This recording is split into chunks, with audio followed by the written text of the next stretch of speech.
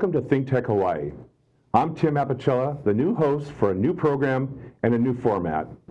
Instead of live streaming a show from the studio, our new show titled What's on Your Mind Hawaii will take place on the streets of Honolulu. This program is about hearing from you.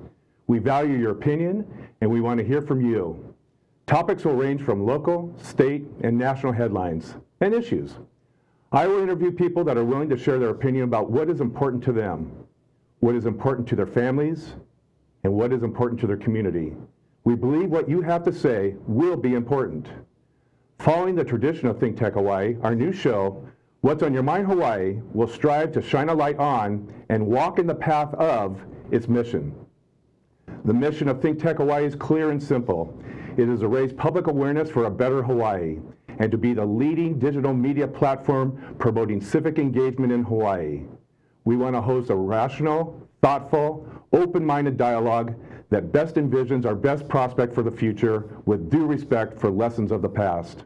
With this mission in mind, we hope you will join us to express what is best for Hawaii and how to improve it.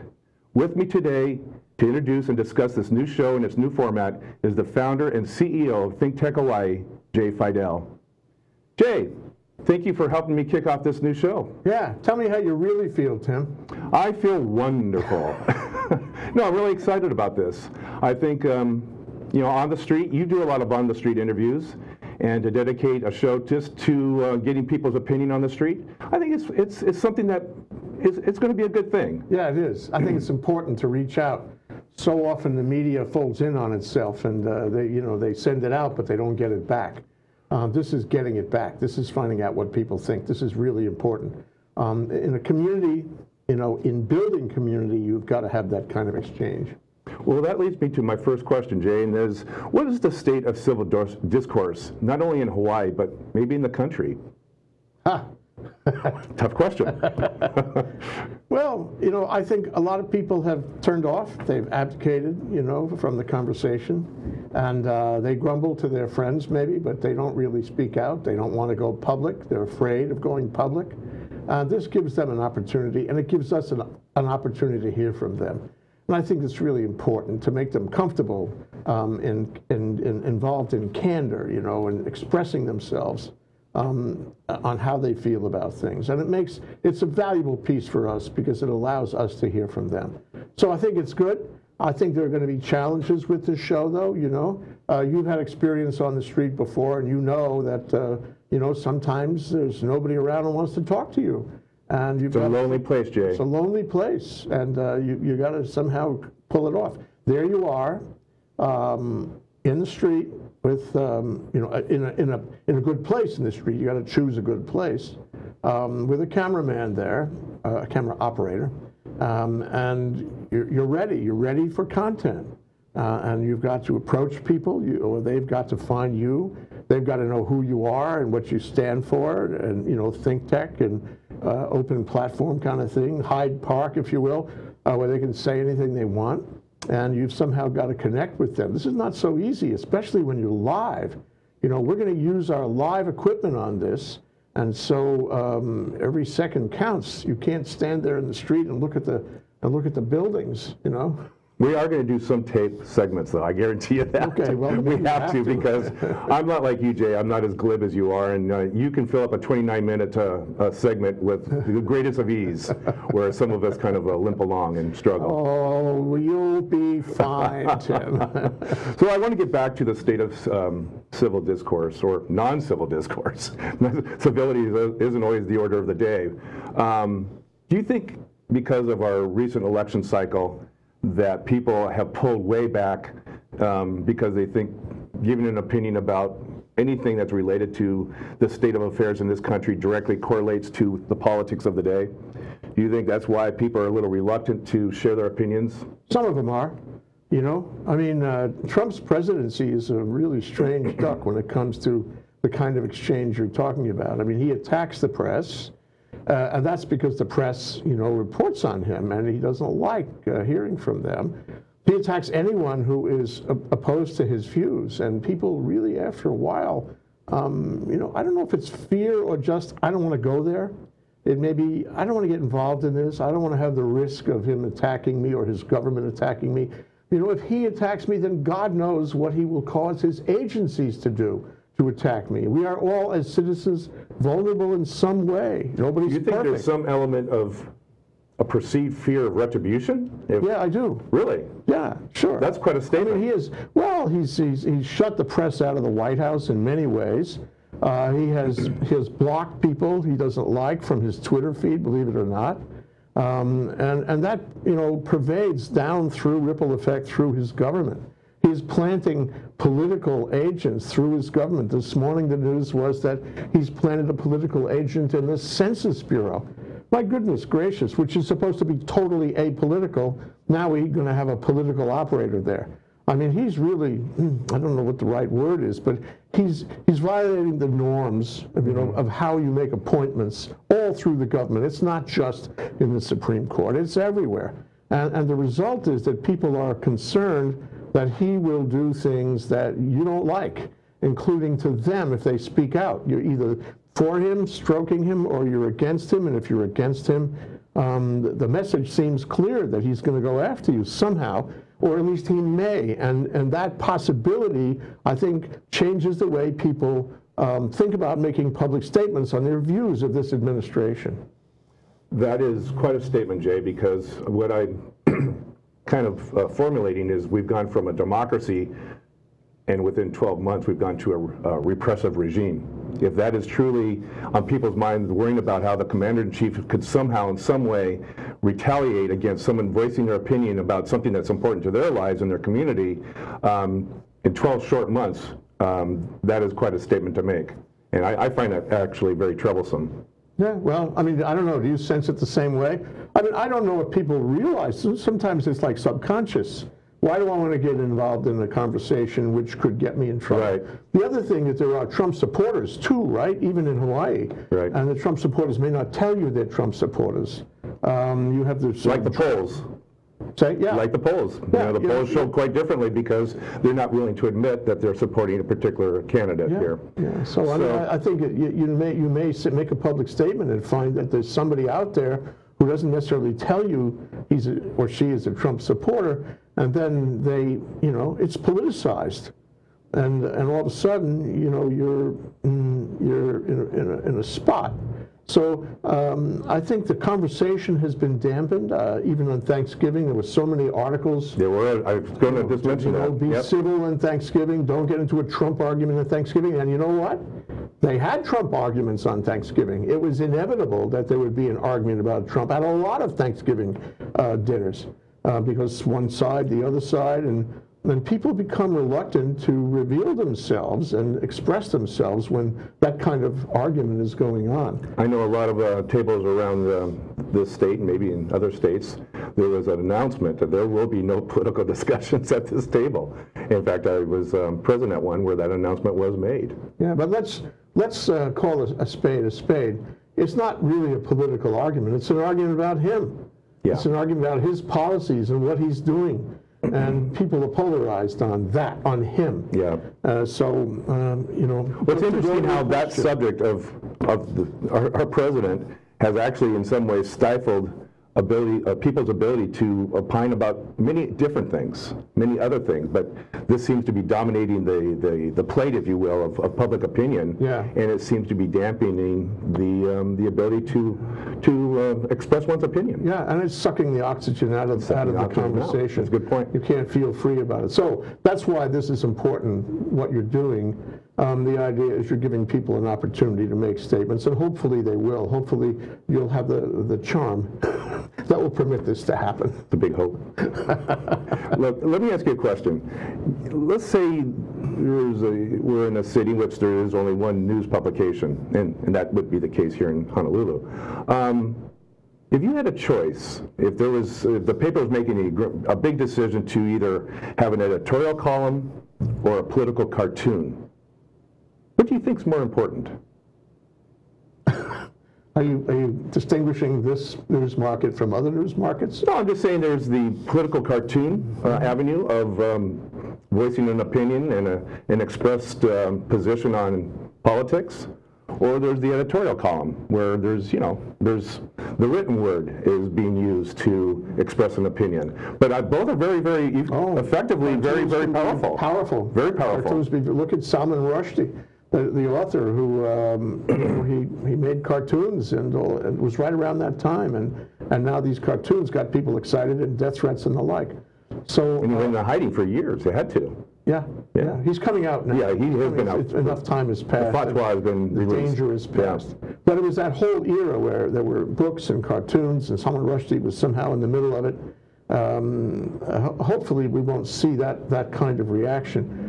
But but I but I would say that um, uh, the newspaper has to have both. It has to have the cartoons, which are so powerful and draw certain people. Uh, they they look at the cartoons first.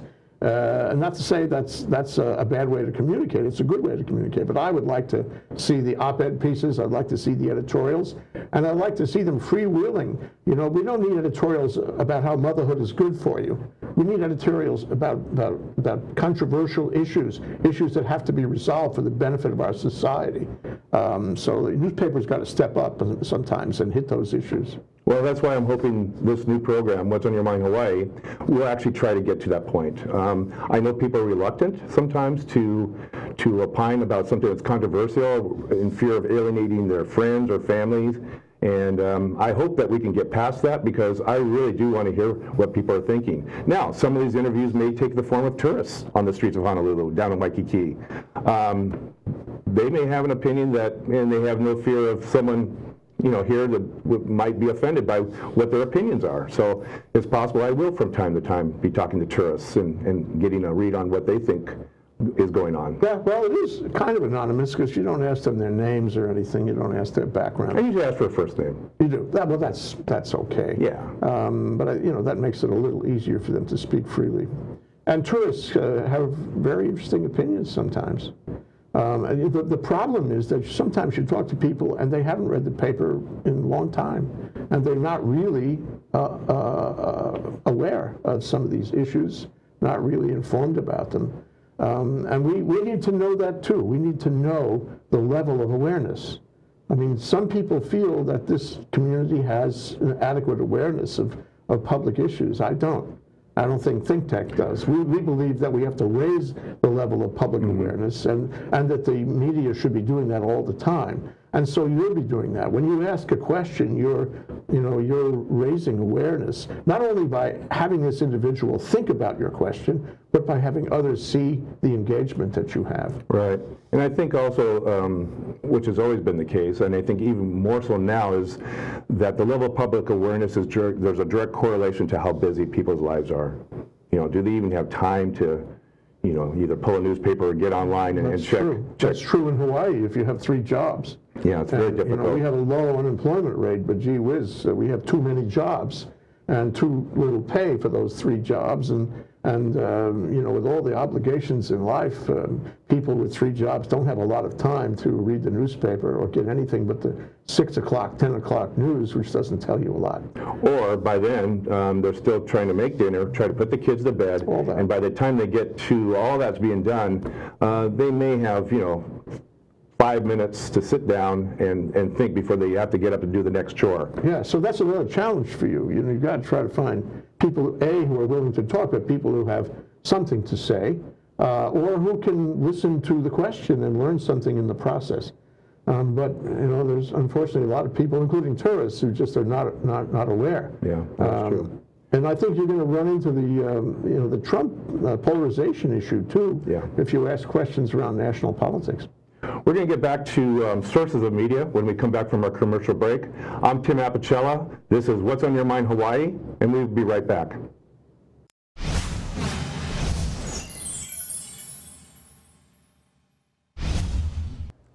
I'm Dave Stevens, the host of the Cyber Underground on ThinkTechHawaii.com, uh, airing every Friday at 1 p.m. And I love ThinkTech Hawaii because it allows me to get the word out about cybersecurity and how dangerous this world can be with technology. Well, for the first time, ThinkTech Hawaii is participating in an online web-based fundraising campaign to raise $40,000. Give Thanks to Think- ThinkTech will run only during the month of November, and you can help. Please donate what you can so that ThinkTech Hawaii can continue to raise public awareness and promote civic, engagement through free programming like mine.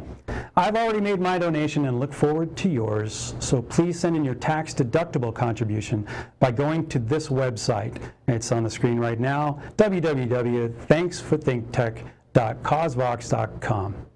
On behalf of the community enriched by ThinkTech Hawaii's 30 plus weekly shows, mahalo for your generosity. Hi, welcome back. I'm Tim Apicella. I'm here with the founder and CEO of ThinkTech Hawaii, and today we are kicking off a new show called What's on Your Mind Hawaii.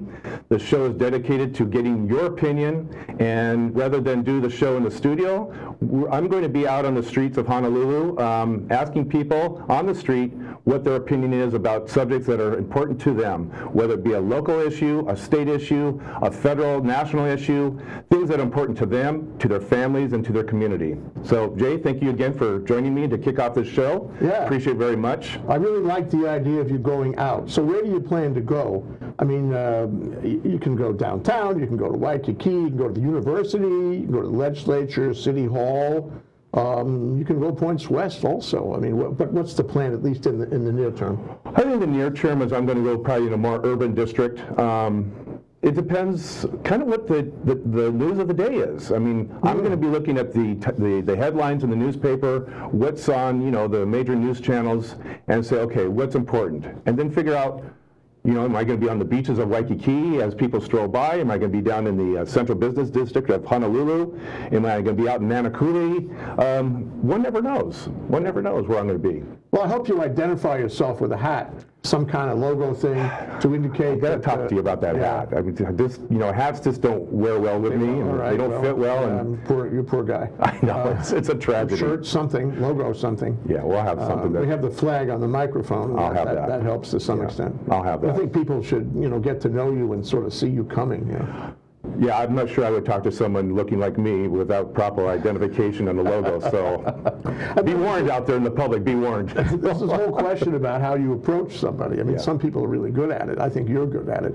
You know, you you can't um, you can't make it formal. You've got to say hi. How you doing? Uh, I got a question for you. Would you talk to me? You no, we won't or- talk to you. or- well, some of them, some hap- of them that will happens. say no, Tim. Yeah, they will no. say no. Happens all the time. It goes back to what I was talking about before. There's a, a certain concern about being involved in the public conversation. It's really too bad. Yeah. Um, but but uh, you know, I think I think that's part of the program that.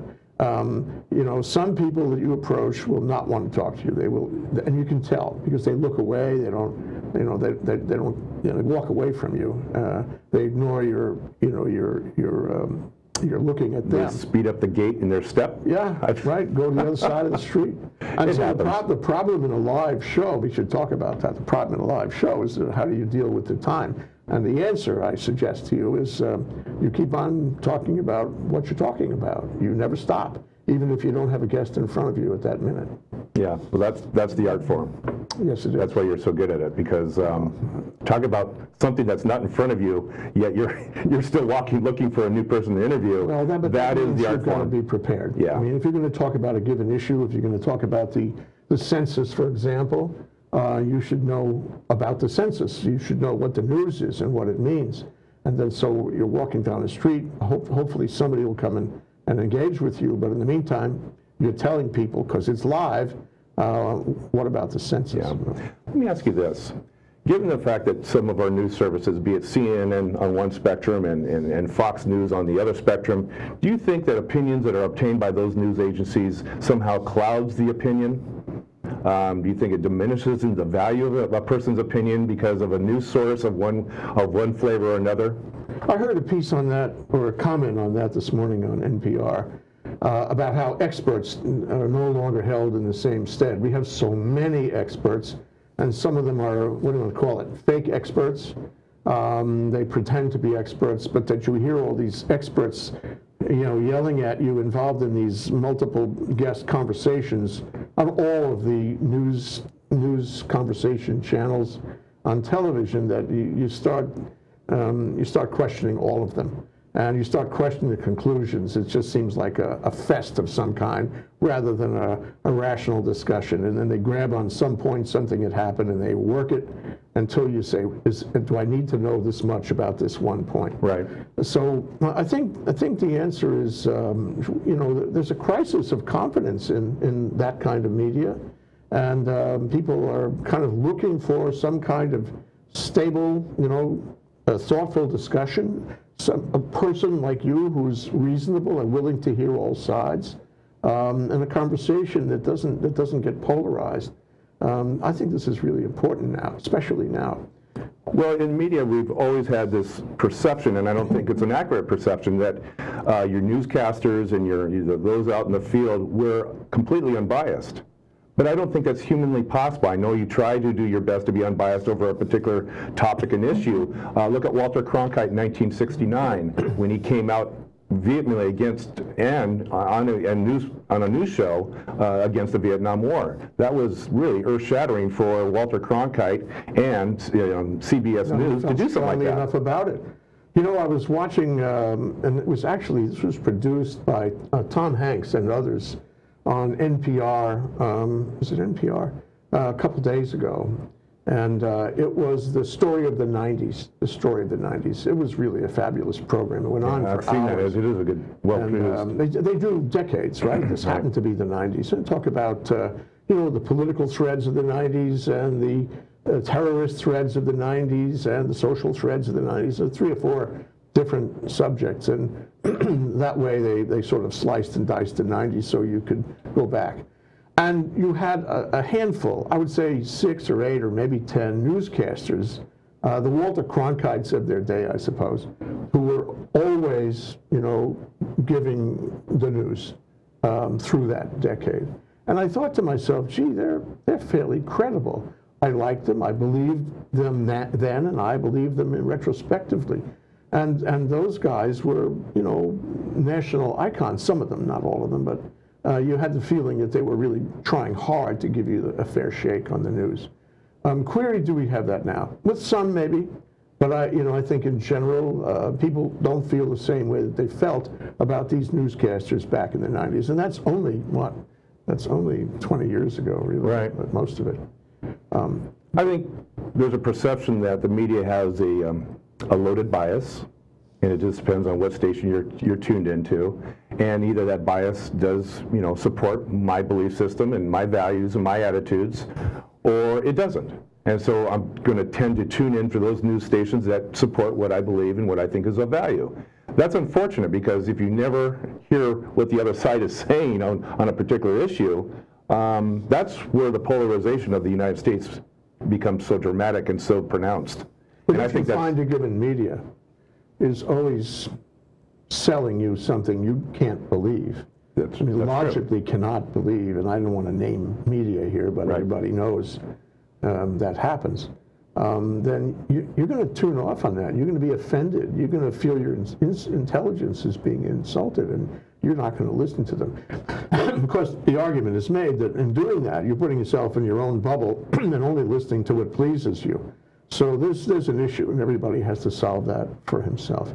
We have a few minutes left, and I would yeah. like to, yeah, go ahead. Well, I just wanted to talk about where things have been in the last 10, 15 years about media blogs and the ability to opine on a blog and how that is either enhanced or diminished um, one's opinion, and, and you had mentioned about experts, so-called experts. Well, people who blog sometimes aren't experts, yet they are blogging as if they are an expert on a particular subject or, or a, a whole variety of subjects. I just want to get your opinion about blogs and what you well, think. My blogs, and for that matter, social media, it's, it's abbreviated, and it's from people that you don't know except that person is a blogger.